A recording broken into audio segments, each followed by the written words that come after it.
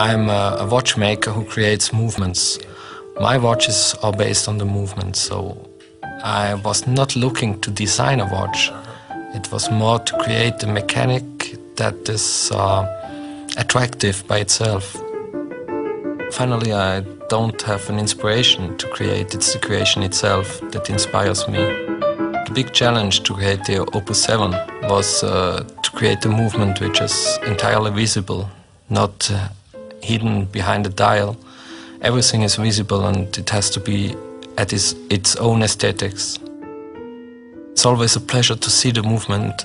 I'm telling to myself, uh, how did I create this thing?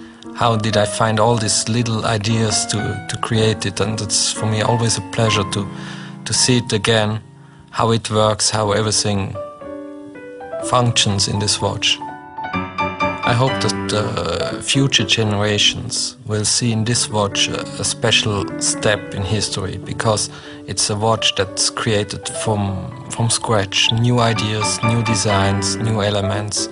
For me, it was a big step to create it. The one word that describes the Opus 7 is butterfly.